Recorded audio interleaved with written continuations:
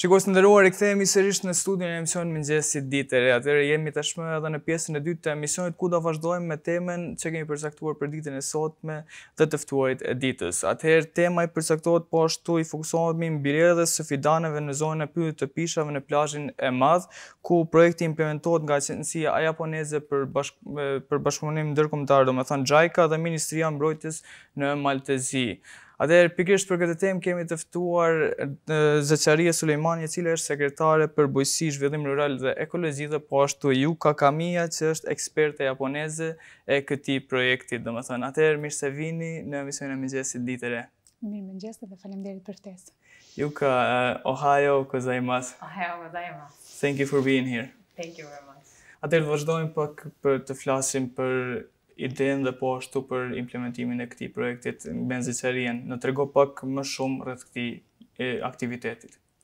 Agjencia ndërkombëtare japoneze JICA dhe Ministria e Mbrojtjes, Direktorati për Mbrojtje dhe Shpëtim, janë duke implementuar aktivitetin për ngritjen e kapaciteteve për shmangjen e rreziqeve dhe fatkeqësive përmes informacionit të sistemit të zjarreve dhe Eco-DRR në Mal të Zi. Ato në kuadër të këtij projektit janë duke implementuar edhe disa aktivitete në komunën tonë. Deri më tani janë implementuar dy aktivitete, domethënë dy workshope. Workshopi i parë ka qenë me kanë qenë pjesëmarrës institucionet përkatëse relevante dhe organizatat jo qeveritare për një të ardhme ideale për pyllin e pishave në komunën tonë në plazhin e madh. Po ashtu është organizuar edhe aktiviteti tjetër edukim mjedisor me nxënësit e shkollës fillore Marko Nuculloviq në Shtoj, po në të njëjtën temë, për aktivitete më shumë do t'ju flasë edhe Yuka.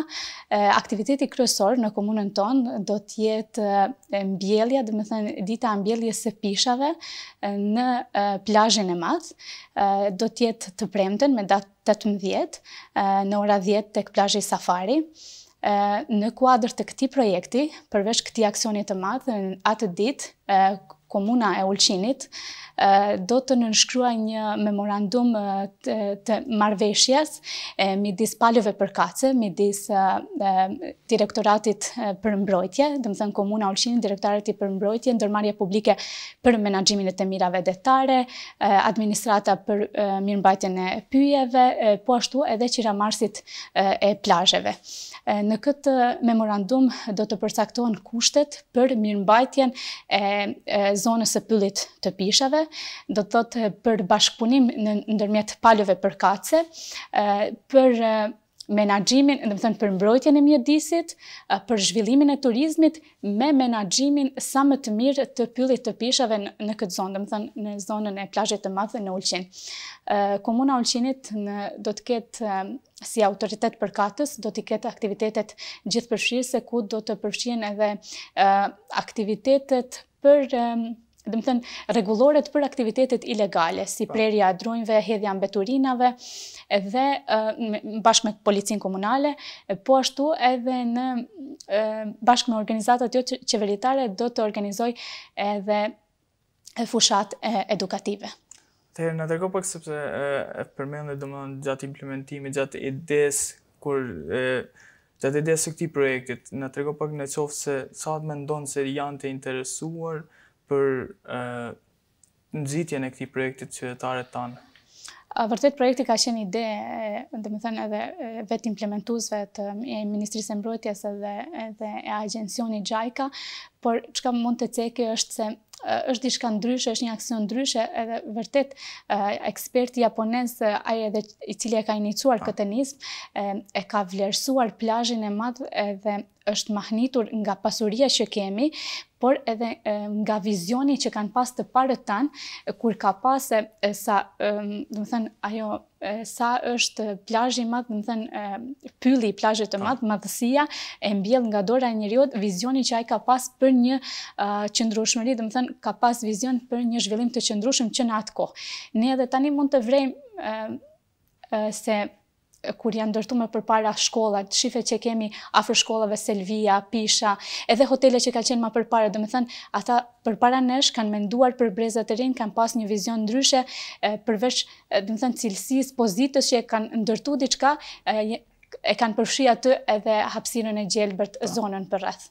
Edhe për këtë kjo është e rëndësishme, sepse normalisht është një hap i madh për Ulqinin, është një hap edhe më i madh, domethënë edhe për Malin e Zi, por gjithmonë duhet të shikohen nga ekspertët, nga të gjitha këto, sepse ky aktivitet nuk është diçka e vogël, është diçka shumë e madhe, edhe në fund fundit duhet Në duhet të shikohet, duhet të merret parasysh çdo gjë, çdo hap që do bëhet, edhe e di që normalisht duhet të shikohet në qoftë se të mos dëmtohet, domethënë, natyra, të mos dëmtohet infrastruktura, të mos dëmtohet shumë gjëra, dhe që në, men, në mënyrë që edhe në të ardhmen të jetë diçka shumë funksionale, shumë diçka që uh, do ketë do sjelli vetëm të mira. Është është e vërtetë shumë e rëndësishme për shkak edhe të sasisë së fidaneve që bën donacion në vitin e parë do të mbillen, domethënë në këtë periudhë do të mbillen 4000 fidane dhe është për t'u vlerësuar se është e gjitha donacion i i i agjencisë dhe më Më parë, mund të them lirisht se kemi pas neglizhencë në këtë fushë, përsa i përket qeverisjes lokale, dhe më së shumti që janë marrë me qoftë punishte edukative, apo mbjellja, ose pastrim, janë marrë organizatat joqeveritare, më shumë se qeverisja lokale, me formimin e sekretariatit të ri për ekologji, Unë besoj që vetëqeverisja e re lokale do të ketë qasje më serioze ndaj, ndaj ruajtjes së mjedisit, ruajtjes së zonave të gjelbërta dhe ruajtjes së biodiversitetit. Dhe, dhe komuna e Ulqinit në vazhdim do t'i kushtojë vëmendje të veçantë sa i përket edukimit, domethënë për hapat e gjelbërta nëpërmes institucioneve relevante, domethënë të edukojë njëherë institucionet relevante për aplikimin e këtyre hapave, po ashtu edhe do të kushtojë vëmendje të veçantë edhe mbështetjes së aktiviteteve jashtëshkollore të nxënësit në këtë fushë, të nxënësve në këtë fushë. Na përmendët tani edhe se cili është domethënë plani i edukimit të të njerëzve domethënë të popullit në përgjithësi për sa i përket këtyre hapave që ndër, do ndërmirrni në të ardhmen. Atëherë do të kalojmë pak tani edhe tek Juka. Juka, uh, again thank you for being here. Uh, we thank you for uh, taking your time of the day to be here for for our viewers for the te television Teuta. And now I want to ask you a more if you can uh, dive us more deeply into this project. Mm -hmm.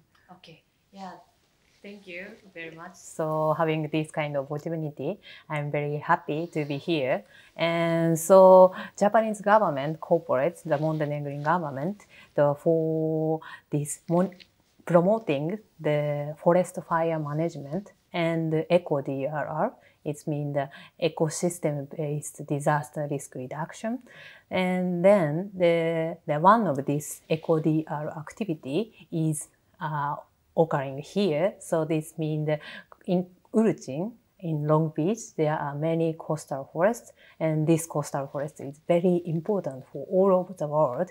And this coastal forest is also the good impact to tourism. And I understand the, the Uruchin is uh, very important for tourism industry, but on the other hand, the because of tourism development and other issue, the, these coastal forests are destroying year and year. Yeah. So we are here. And uh, so I wanted uh, the,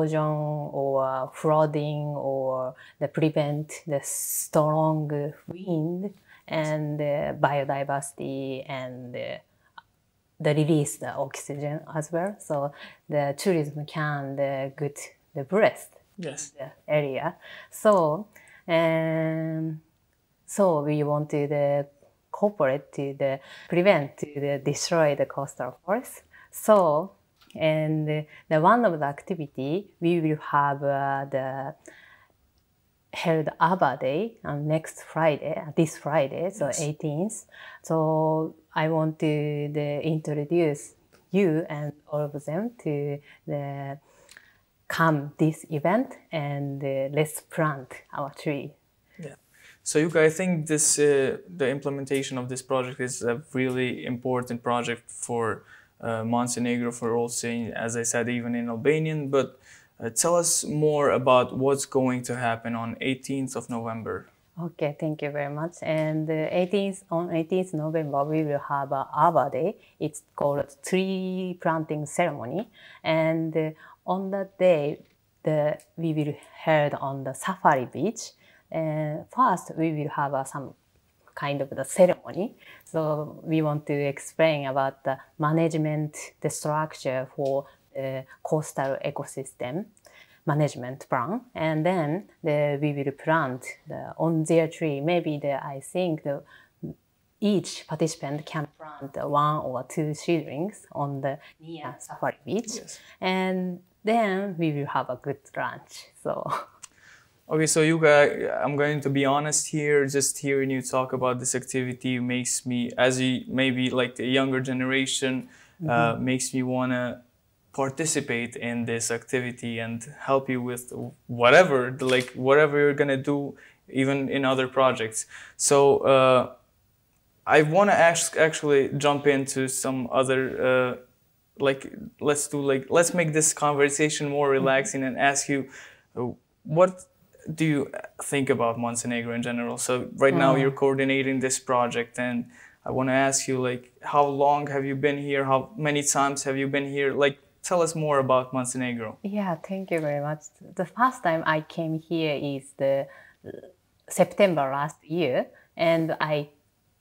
since then I came here fifth times, totally I think five or six months, and uh, yeah, I love this area and especially in Urucin. I, I, I mainly the stay in the Urucin, the near short beach, a small beach, sorry, yes. near small beach. So I love this kind of the scenery. So when I wake up, I can see easily to see the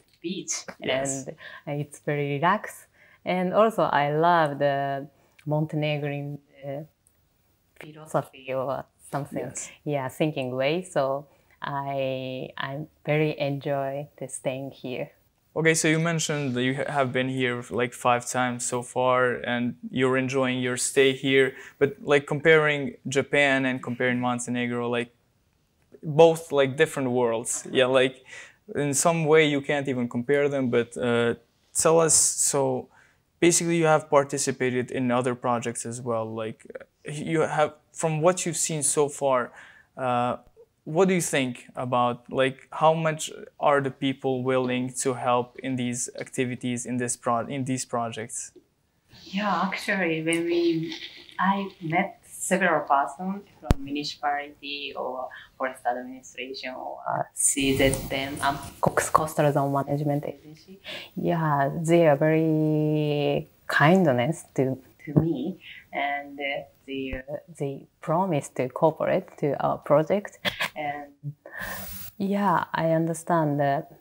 Japanese and Montenegro Montenegro is a little bit different, and the the the, the some the structure or the the management situation is totally different, but they are trying to their best in their life and even in the the the the limited time because they need to stay with family, right? With family yes. or friends.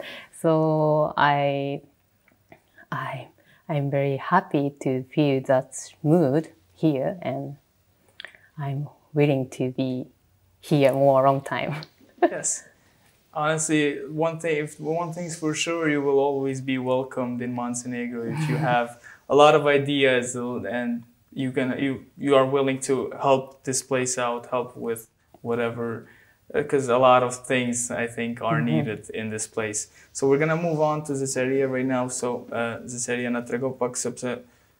Sa i përket një mesazhi që njerëzit të marrin sa më të marrin pjesë në aktivitet, cili do jetë ai mesazhi sa i përket rëndësisë dhe çdo gjë që keni për këtë projekt? Ne atë ditë me 18 të premten presim shumë vullnetarë, presim banorët e zonës së Shtojit, nxënës, qytetarë edhe dashamirës të natyrës edhe unë edhe uroj që të vijnë sa më shumë që domethënë ta vendosim mbrojtjen e natyrës, mbrojtjen domethënë gjelbërimin në rend të parë, sidomos pyllin e pishave, jo vetëm për një, për, një peizazh më të bukur, për mbrojtje nga erozioni, por më për një një zhvillim të qëndrueshëm të qytetit tonë në aspektin ekologjik, social dhe ekonomik, sidomos në atë ku lidhet turizmi dhe pse jo dhe bujqësia. Atëherë faleminderit për këtë mesazh dhe do ja lëmë po ashtu edhe fjalën edhe një herë edhe Jukës për një një mesazh sa i përket asaj. So, uh, what would uh, the message be for all the citizens of Ulqin, all the like everybody watching this interview right now? A message to participate mm -hmm. in this activity. For up for Abba Day next 18th, please join this event. The, and the next year as well, I I will make some another event. So I want to to cooperate with all of residents and all of relevant people in Ulqin. Okej, arigato Yuka, thank you so much and faleminderit atëherë edhe për mesazhin edhe një herë. Atëherë këtu do mbyllim edhe intervistën, ju falënderojmë që ishit pjesë sot e emisionit të mëngjesit, për që ndatë një kohë të ditës tuaj për shikuesit e televizionit Teuta dhe faleminderit edhe një herë. Faleminderit juve për ftesën.